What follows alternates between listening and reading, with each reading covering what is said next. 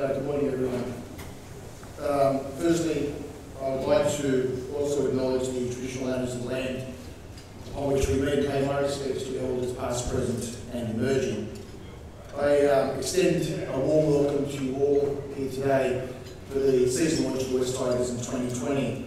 I extend a warm welcome to Fiona Martin, who's here, I remember, the Reid, um, the State Treasurer, Mr. Perrottet, Dominic Perk, I don't think he's arrived as yet, Angelo Tsirekas, Mayor of Canada Bay, Darcy Byrne, Mayor of Inner Council, David Trodden, Chief Executive Officer of the New South Wales Rugby League, who may not here also, Mike Bailey, who I have seen, Chairman of West members of the West Board, Dr. Leslie Glenn, Chairman of the Balmain Rugby League Club and members of the Balmain Board, fellow members of the Wests Tigers Board, Wests Tigers Life members, and Wests Tigers Foundation members.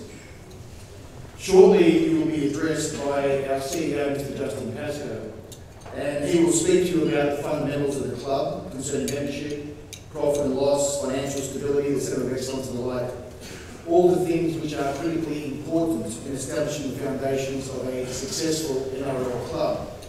The things that can be easily measured, the tangibles. What I would like to discuss with you are the intangibles, the things that cannot be readily measured, the things which are determined by faith, belief and gut feel. What my faith, belief and gut feel tell me, in the immortal words of John Paul, George and Ringo, circa 1967, it's getting better all the time. And it is getting better, much better. There is no doubt that we are a much better and stronger club than we were 12 months ago. Better as to the tangibles and the intangibles. Recently, Justin and I had the opportunity of addressing the playing group. It was an open and honest discussion. There was recognition by all that we have not achieved the success in recent years that we and our members and fans have longed for. The success that we believe that we are entitled to. It was unanimously agreed then that this year was going to be different. This year, each and every one of us will do our best. And by our best, I mean our very best. Whether that be I, as chairman of the board of directors, in terms of every decision that we take, we ensure that it be the best decision in the interest of the club, the members, and the fans only. By being the best, it means that every action or decision taken by Justin and the executive be the best action or decision that can be taken in the circumstances and solely for the benefit of this club, its fans, and its members. By being the best, it means that every instruction, drill, training schedule, and procedure implemented by Michael and the coaching staff be the best that it can be get the best out of the playing group. Then we pause and we ask ourselves, was that the best that we can do? And if it was not our best, we do better. Most importantly, the players acknowledge themselves that they need to be their best as well. The best they can be in every circumstance, whether it be on or off the field. Good enough is no longer acceptable. To be the best, we must first acknowledge that we have not been our best up until now. We have made mistakes. We have taken shortcuts where we should not have. And we have made decisions which, with hindsight, have not proven to be in the best interest of the club.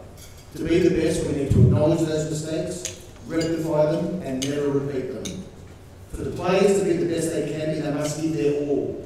Whether it be a tackle, a kick, or a run, then every tackle, every kick, and every run must be the best they can do. And if it is not, they need to ask themselves, why not?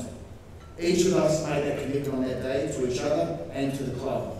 To be the best that we can, can be, and nothing less will suffice. There is no point in shying away from the harsh reality that we have not enjoyed success in recent years, but that time is now past. I left that meeting confident that Justin, our football manager Adam Hartigan, and our head coach Michael Maguire have put together the most impressive playing roster to represent this club for many years. I've always operated on faith, belief, and gut feel, the intangibles. Do I have belief in those who are charged with the responsibility of managing this club and coaching this team that they will produce their best? Yes, I do. Do I have faith in this playing group? They will produce their best, both on and off the field, and represent this club to the best of their ability and honour the jumper that they wear. Yes, I do. What does my gut tell me? It tells me that we are heading in the right direction, that we have the right people managing this club, and we have the right people representing it. The truth is, I could not feel any better about this club than I do today.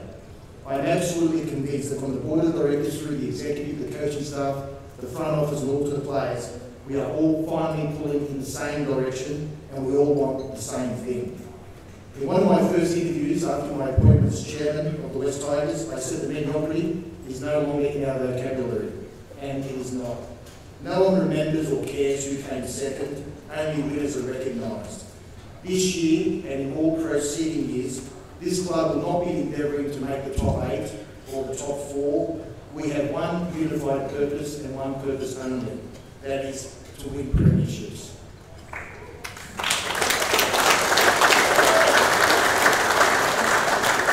Here the Wests Tigers, close enough is no longer good enough. It's all about being our best, and we know that at our best, we are unbeatable. No other club can draw upon 200 years of NRL history. No other club can boast a joint venture of two foundation clubs. No other club can harness the strength of its fans and members, stretching all the way from Leichhardt to Lidcombe and beyond.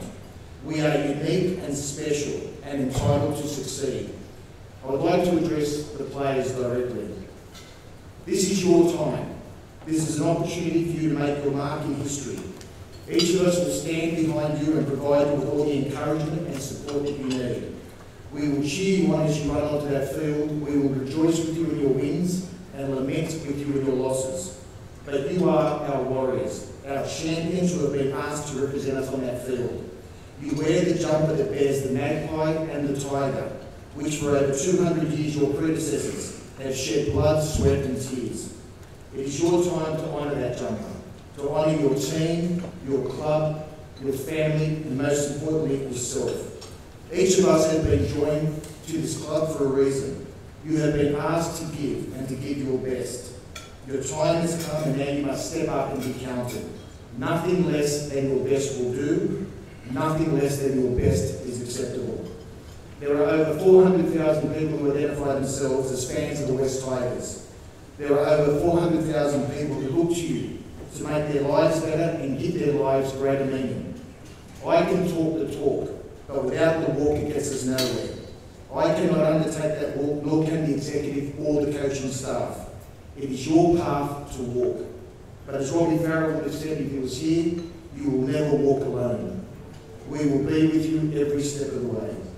It may be easy for me and other members of the executive to assert as positively as I can that we will enjoy success in 2020. A somewhat bold assertion. It is the future that we want, but it has been said that the best way to predict the future is to create it. The club's future is ours for the making. Our story is yet to be written. We stand here with pen in hand, ready to write the next chapter. It is with absolute conviction that I say ours will not be a fairy tale nor mythology. It will be a true story of brave men succeeding in the face of all adversity and pushing themselves beyond their limits for one purpose and one purpose only, to be our champions, to be eternally recognised as such, to be feted, idolised and worshipped by over 400,000 people, and to be recorded in the annals of our history as our champions. That is your motivation. This is what must drive you to push and push even harder. And when you are the best you can be, you push even more. For at the end of the day, it will be worth it. I have no doubt that each and every one of you will do this club proud. To those players who are returning to the Wests Tigers in 2020, welcome back. To those players who have joined the Wests Tigers in 2020, welcome home. And as I told the playing group on that day, a premiership will not only provide eternal reward and recognition, but it also provides a chairman with a premiership ring. And I want that ring. the big ball goes to spoils, and it is our time to be spoiled. I would also like to recognise the fellow board members of the Wests Tigers who are here today. Although only in the chair for a very short period of time, I have been overwhelmed and humbled by the warmth and the generosity extended to me. I would like to thank each and every one of them. I would also like to thank the executive and the front office of Wests Tigers for the welcome that I have received in my new role so as to enable me to be the best chairman that I can be. I would also like to formally acknowledge the sponsors and members of the Wests Tigers. These are people who not only have faith and belief in this club, but also commit their financial resources to it. I would like to acknowledge our major sponsor, Bryden's Lawyers, who will be with us in 2020. What an outstanding sponsor they have I would also like to acknowledge and thank Meriton, Neds, ISC, Carlton and United Breweries, Allied Express, MSR Services Australia, Ticketek, ISRI Truck Seats, UTEC, Waterview in Bicentennial Park, Western Suburbs Leagues Club Campbelltown, Espresso Organica, Bellevue Capital Financial Services. I would also like to acknowledge our number one ticket holder, uh, Peter Benet, and our Wests Tigers Players Club members.